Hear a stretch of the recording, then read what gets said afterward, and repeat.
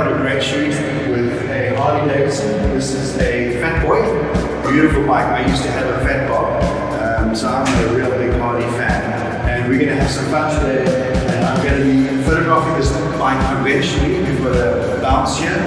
And then I'm also going to be doing some light painting we're going to try and create some really nice effects. And then I'll show you later in Photoshop and in Capture One what we can do to create a really amazing shot. And then I'm also going to be doing a portrait with the owner of the bike, Daryl Payton, where we're going to take a picture of him. So we're going to cover quite a lot of things today. And I'm going to be using this beauty.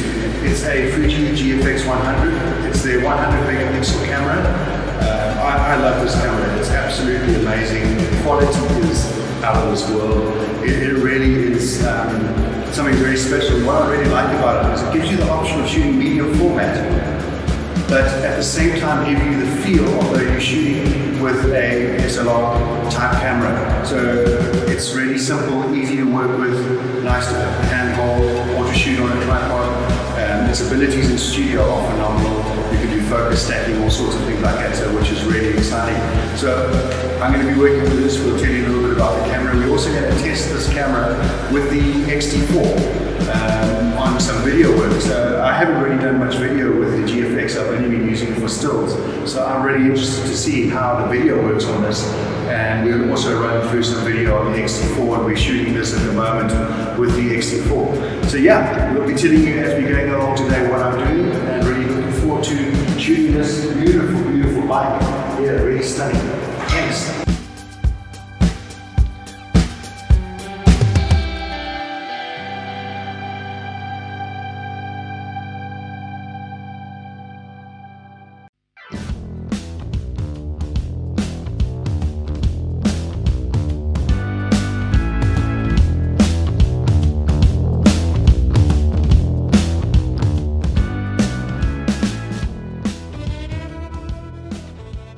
Right, so now what we've got here is I've got Daryl, he's the owner of the bike. Hey Daryl. Alan. So he's, he's the one who gets to enjoy this bike and I'm really envious of him. But what I've done for this particular shot is I've lit the bike pretty clean and I've put one light off to the side, which we'll show you just now, that I'm bouncing into Daryl and creating lights on the side. So you've got a bit of side light that's lit him, and so it's got a bit of mood. And then when I get into post, I'll push the contrast and we'll work it a little bit to give it a little bit more mood. So with him, I've wanted to light it a little bit cleaner.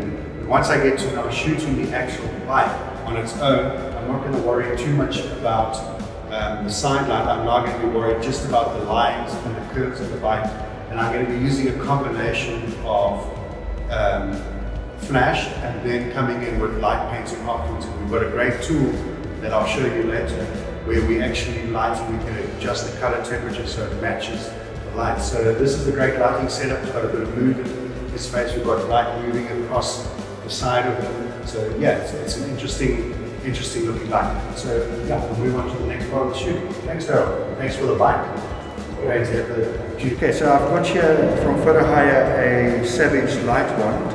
Um, it's really great. You can adjust the colors on it. You can whatever your um, hue or saturation on the actual light. And I'm going to be using this to light paint. We'll obviously set it onto a neutral 6000 Kelvin. And what I'm going to do is because when I'm light painting, I'm going to be painting over the bike like I'm not going to be wanting this to be getting into my camera. So what I've got here is I've got some foil, um, city foil that I'm going to be using. And I'm going to just wrap this in like that stick it down and what that's going to do is going to stop any light falling into the camera and I'll make sure that when I'm painting that I um, don't aim the actual light towards the camera so we get to recreate this foil we can make it into a nice simple um, goes look like it almost like a barn wall. So yeah, really nice and simple. It's amazing what you can do with uh, black wrap and yeah, for shading of light. So now once, once I actually get to painting, you'll see when I'm doing that, you don't see it, and then I can just paint